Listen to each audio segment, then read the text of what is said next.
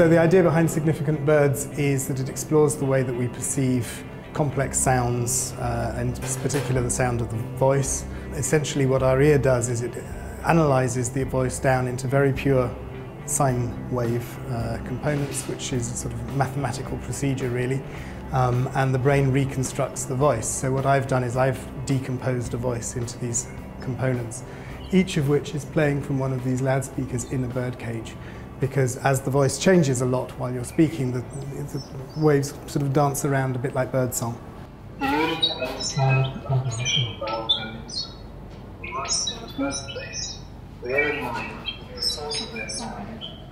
One of the interesting things about it is how the voice has no location. Um, you, you, hear a voice in the space, but if you try and spot where it's actually coming from, it's not coming from anywhere in particular. It obviously is an illusion because there isn't a voice present in the space and you hear one. I mean, you could argue that all recording is an illusion in that sense, but this is uh, further um, illusory in that, in that no single loudspeaker is actually producing the sound of a voice.